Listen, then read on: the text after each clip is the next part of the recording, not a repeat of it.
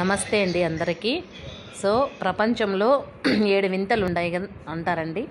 So ఎనిమిదో వింత అన్నమాట ఇది. శ్రీమద్ భగవద్గీత. చూద్దామండి లోనకెళ్ళి ఏంటా అనేది ఇది చదవాల్సిన అవసరం లేదు. చదువు వచ్చిన వాళ్ళు కావచ్చు చదువు రాని వాళ్ళు కావచ్చు ప్రతి ఒక్కరూ కూడా చదువుకోవచ్చు.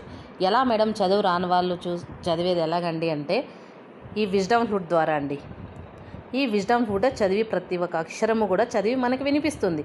ఏ శ్లోకమైనా కానీ చూద్దామండి ఎలా అనేది.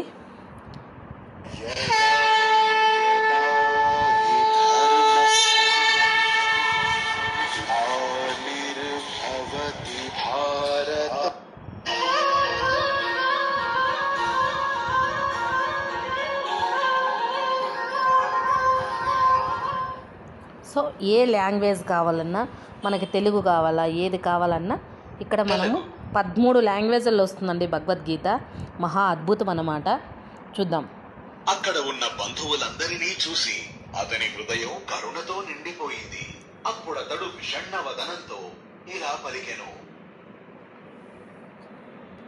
యుద్ధం కోరి యుద్ధరంగంలో నిలబడిన నా వారిని చూచి నా అవయవాలు శిథిలమవుతున్నాయి. నా నోరు కూడా ఎండిపోతోంది. ఇంకా నా శరీరం వణుకుతోంది. ఒళ్ళు గగురు పొడుస్తోంది. నా శరీరం మీద వెంట్రుకలు నిక్కబొడుచుకుంటున్నాయి.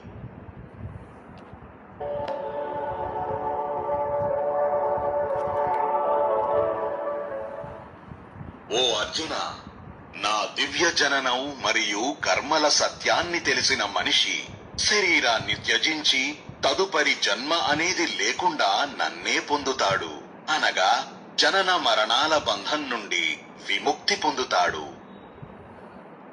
రాగ భయం మరియు కోపం నుండి ముక్తులై నా ఆశ్రయానికి వచ్చి నాలో విలీనమై జ్ఞానరూప తపస్సుతో పవిత్రమై చాలా మంది భక్తులు నా రూపాన్ని పొందారు.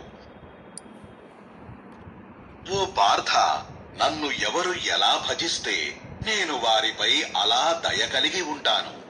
కాబట్టి మానవులందరూ అన్ని విధాలుగా నా మార్గాన్నే అనుసరిస్తారు.